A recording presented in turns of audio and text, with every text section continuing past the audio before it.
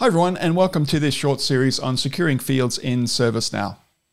In this video series, we're going to look at the most common configuration methods for securing field data in the Now platform.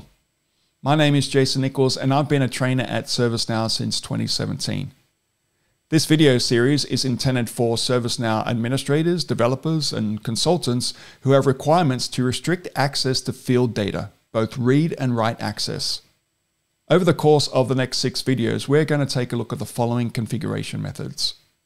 Client scripts, UI policies, view rules, access control rules, data anonymization, and finally, column level encryption. I'm going to give you an overview of each one of these methods, some of which may already be familiar to you, such as UI policies and client scripts, but others, such as data anonymization or data privacy, perhaps not so much. Each one of them, however, has specific use cases which we will discuss in each of the videos. These videos serve as an introduction only. There are many resources out there that go much deeper into many of these topics.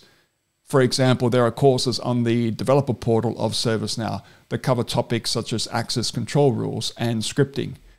And there's also an entire learning path on the ServiceNow Vault, a relatively new product offering in the platform that goes into data privacy and encryption.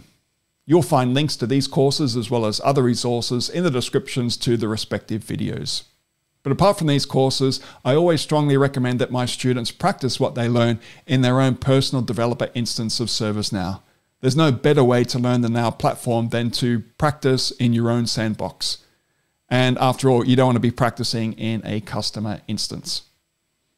Finally, this series was produced using the Tokyo version of ServiceNow.